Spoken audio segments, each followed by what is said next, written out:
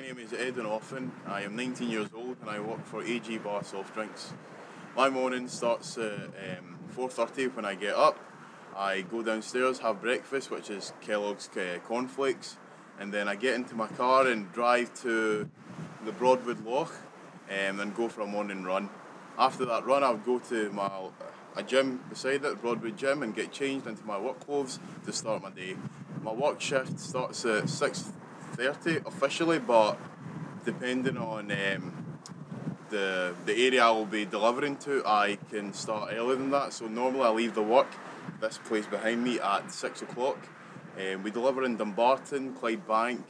Um, so what I do, my job is the drinks that AG Barr produce, we go into the shops and deliver them into all the different shops, whether it's uh, from shops from USAVE to all the way to big shops like Tesco.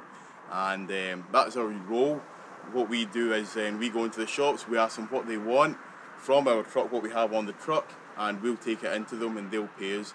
And that's basically my day from the six six o'clock margin all the way to depending on when I finished, um, that which also varies depending on where I deliver to and what customers have ordered. Customers can order from a single case to over 200 cases, and we have to manage that and deal with that and structure it on our truck so that we can deliver it to them. I usually have lunch or a, well, have a snack around maybe 10 o'clock, which could be um, a little um, crisps or a wee sandwich to keep me going. Um, and then later on in the day, maybe between half 12 and 1, I would have my lunch, which is usually a chicken and bacon Caesar salad, um, plus a, a drink that I get from the truck and a packet of crisps.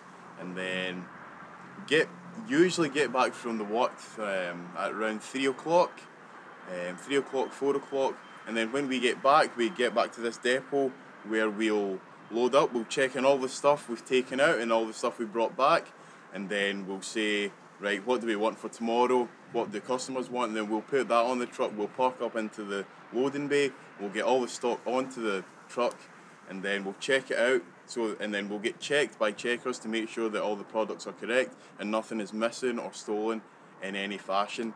And then after that, we'll get loaded up, and then it's time for me to go home, which would be roughly around half four, five o'clock. After that, I like to go back to the gym. So I'll get in my car, drive to Broadwood Gym, and then get changed and then just work out depending on what day it is. My um, my workout will vary. Um, I'll usually go in the gym for about an hour, an hour and a half, which means that I get home maybe about seven o'clock. As soon as I get home, I'll have dinner. That varies depending on how I'm feeling. To be honest, that can usually be rice or just just whatever my mum's made for me.